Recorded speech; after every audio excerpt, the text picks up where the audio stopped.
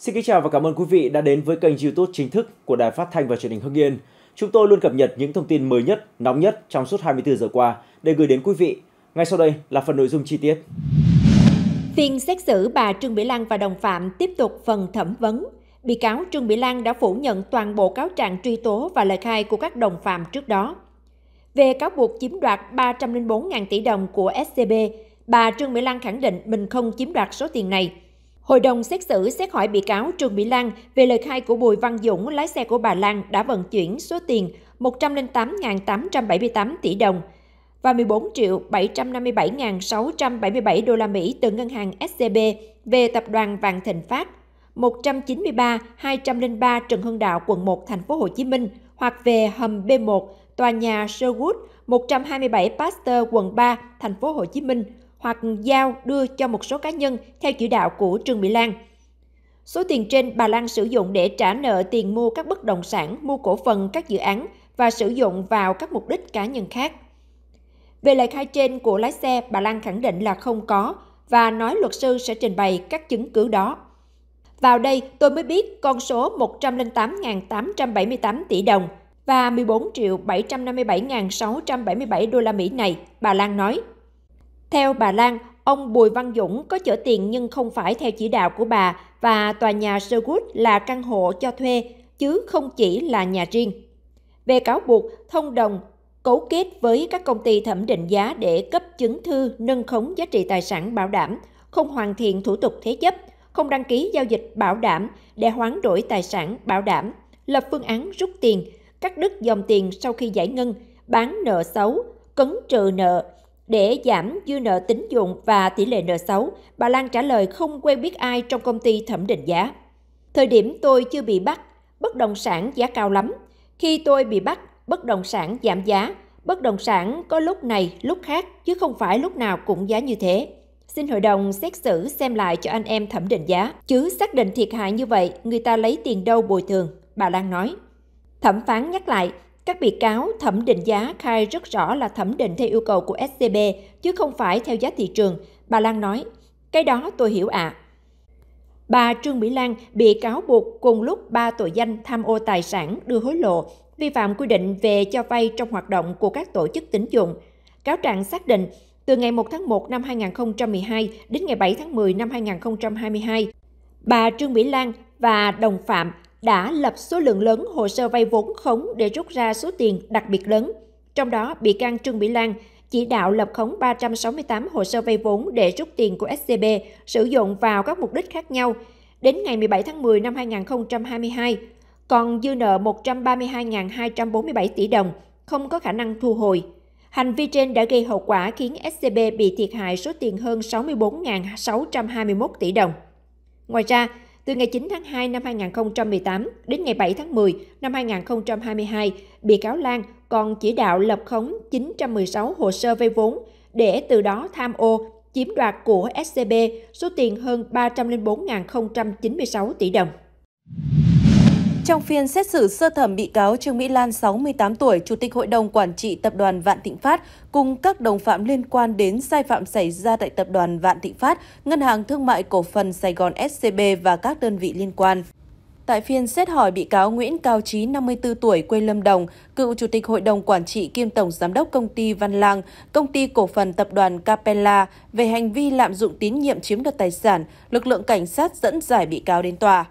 Trả lời hội đồng xét xử, bị cáo Nguyễn Cao Trí cho biết cáo trạng truy tố về hành vi của ông là đúng.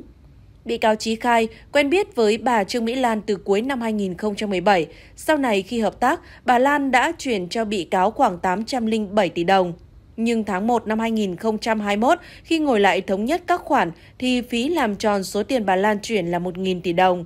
Số tiền bà Lan chuyển với ba mục đích gồm chuyển nhượng 31,22% vốn điều lệ công ty cổ phần cao su công nghiệp do ông Trí đứng tên sở hữu, chuyển nhượng vốn điều lệ công ty cổ phần Sài Gòn Đại Ninh và đầu tư dự án tại huyện Hải Hà, tỉnh Quảng Ninh. Khi có thông tin chị Lan và đồng phạm bị khởi tố, bị cáo rất bối rối. Bị cáo thấy có rủi ro là có thể bị tăng gấp đôi số tiền nhận của chị Lan.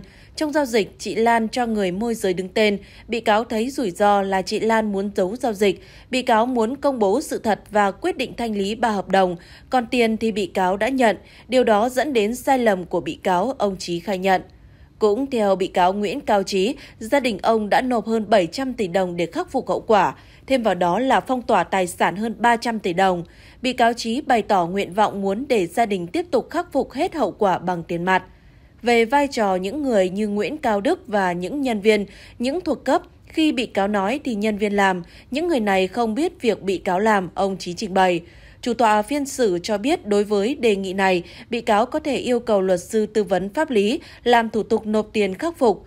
Cũng theo bị cáo Trí, sau khi bị bắt, bị cáo đã rất tích cực phối hợp với cơ quan điều tra.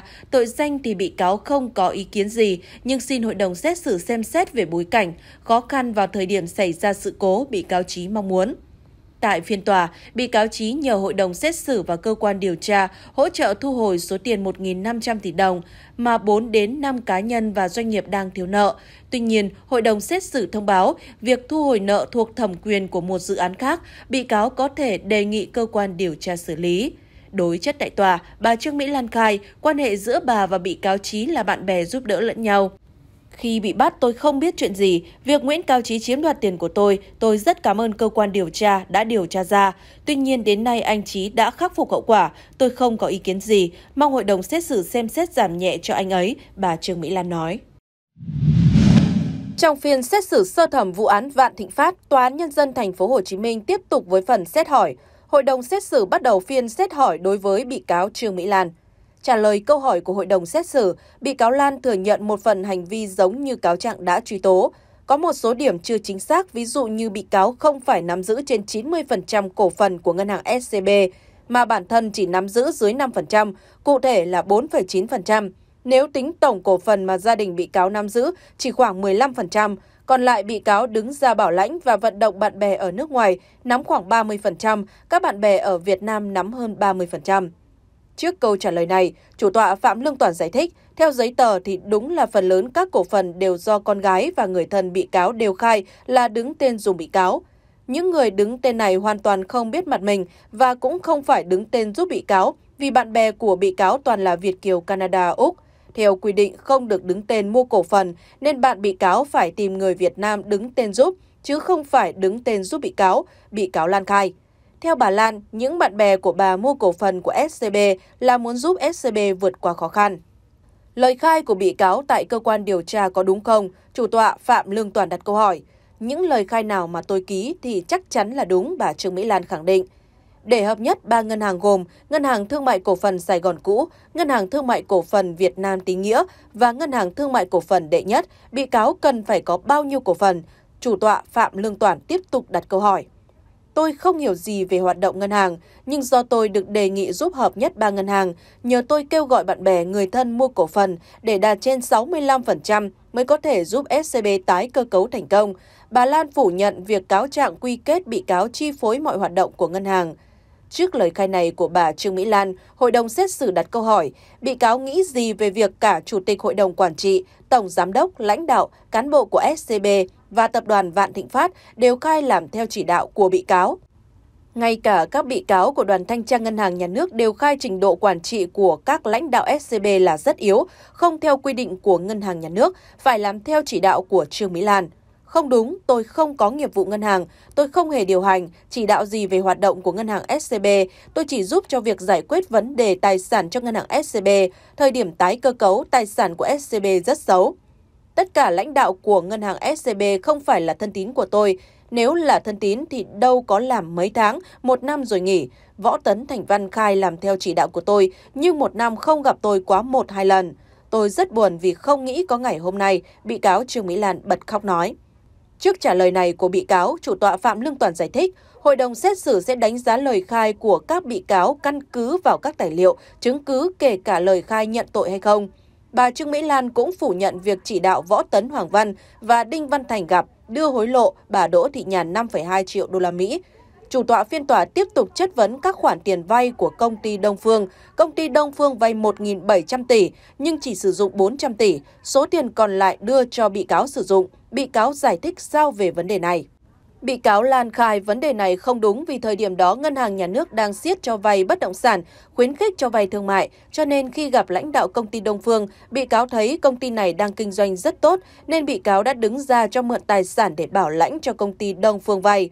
Do tài sản đảm bảo là của bị cáo, nên Tùng, chủ tịch công ty Đông Phương cứ nghĩ là tài sản của mình và được quyền sử dụng hết 1.700 tỷ đồng là không đúng. Khi hội đồng xét xử hỏi, theo cáo trạng, hệ sinh thái của Vạn Thịnh Phát có hàng ngàn công ty con, điều này có đúng không? Bà Lan khẳng định là không đúng. Theo bị cáo Trương Mỹ Lan, Vạn Thịnh Phát chỉ có 5 đến 6 công ty. Bà Lan cũng phủ nhận mình không chỉ đạo thành lập hàng nghìn công ty ma để chuyên đi rút tiền của SCB. Trước đó, trong phần xét hỏi những ngày qua, phần lớn các bị cáo thuộc nhóm ngân hàng SCB, thanh tra ngân hàng, các công ty thuộc hệ sinh thái Vạn Thịnh Phát đều thừa nhận cáo trạng truy tố là đúng người đúng tội, tất cả đều khai làm theo chỉ đạo của bà Trương Mỹ Lan. Nhóm bị cáo thuộc cơ quan thanh tra giám sát ngân hàng cũng thừa nhận. Trong vụ án này, bà Trương Mỹ Lan bị truy tố về ba tội tham mô tài sản, đưa hối lộ và vi phạm quy định về cho vay trong hoạt động của các tổ chức tín dụng.